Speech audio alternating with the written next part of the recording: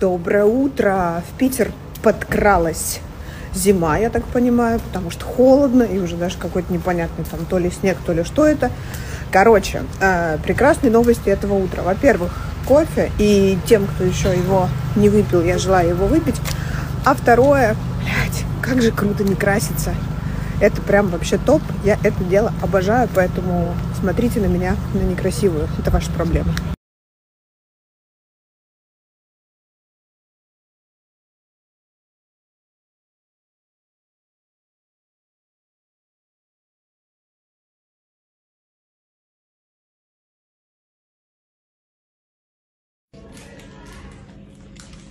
Ну что, как тебе питерская Ну, шаверма? Лучше, чем в Москве? Ну, во всяком случае, на уровне точно.